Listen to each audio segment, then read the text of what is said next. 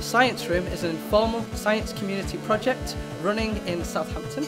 We run currently in the Art House and we are trying to have science led by the community and seeing what comes out of that. Our events operate on people's questions. Helen, a member of our community, asked the question, is nuclear power dangerous? And in our event, we had Oliver Trojak, a physicist, to come and talk about that question. The other completely radical alternative is to harness the kind of reaction that goes on in the sun. So this is nuclear fusion.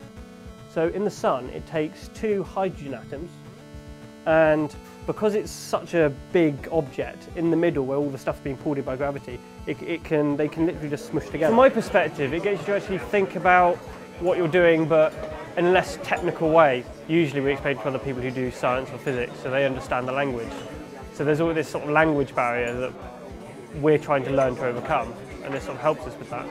It's great practice to try and communicate complex scientific ideas to a audience which isn't either isn't from your field or is a non-scientist. But it also allows the scientists to have a sense of fulfillment in that they can then communicate what their research is or certain elements of science that they're really interested in to members of the public.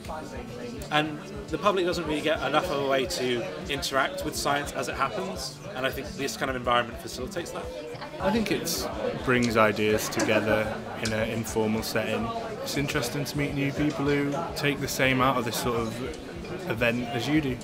This is my third time here, um, and I come back because it has a real nice variety of topics. There's a good variety of people. There's a few regulars, but today about half these people were come to one before, and it's um, really entertaining to discuss all these different ideas from different fields with different groups of people.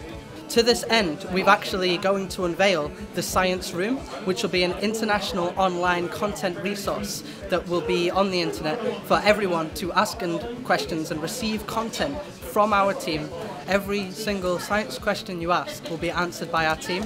We value each question equally and we feel that there is no such thing as a bad or wrong question.